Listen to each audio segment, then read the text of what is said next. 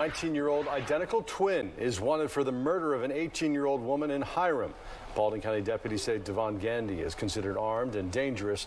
Deputies say Gandy shot and killed Catherine Castillo Martinez at a mobile home on Barbie Path Saturday morning. Deputies stress Gandy's twin was not involved in the crime in any way.